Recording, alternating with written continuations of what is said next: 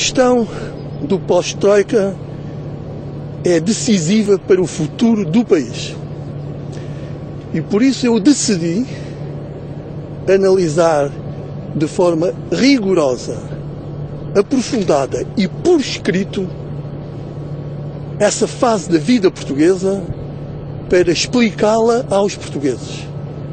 Porque falar oralmente qualquer um pode fazer, mesmo não sabendo nada das questões.